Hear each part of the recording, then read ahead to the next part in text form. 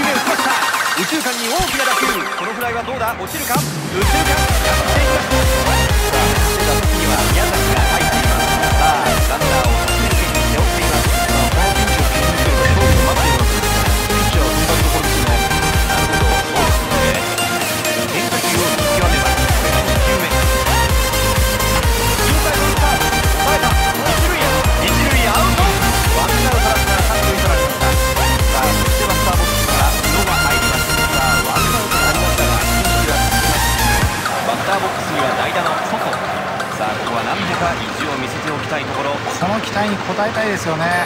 そうですよね。ここはぜひ決めておきたい。ジャ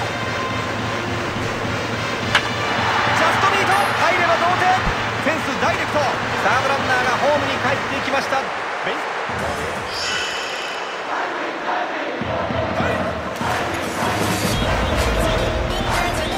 バスターボックスには代打の。うん小宮山さんなんとか逃げ切りたいところなんですけれどもね。そうですね。同点にされるわけにはいきませんから。やそうですね。さあしっかり抑えていきたい。はりピンチになると初球も慎重になりますね。ああやはりそうですか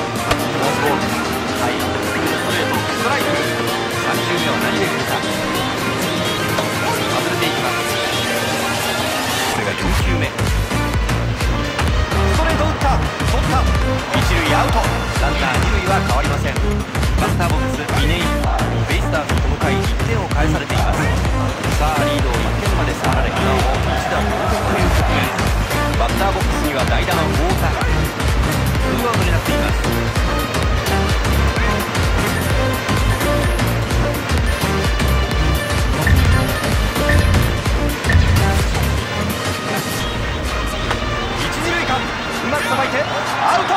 これでスリーアウト試合終了です。一打同点のピンチで。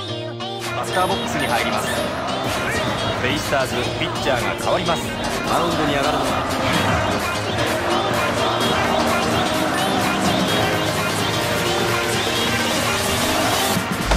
最初は変化球持ってきました。ストライクです。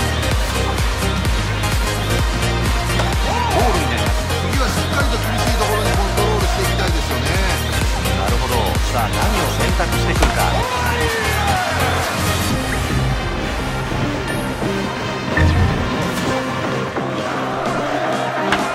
打ちました。ヒットになった。先頭バッターを出してしまいました。ノーアウトランナー一塁です。バッターボックス田村。先ほどの打席はセカンドゴロに倒れています。ヒットでランナーを一塁に置いています。初球時ここはフライになっています。以下に抑えてワンアウトバッターは今日 DH に入っているバース先ほどの打席で先制となるソロホームランを放っていますまあバッテリーとしてはファーストランナースタート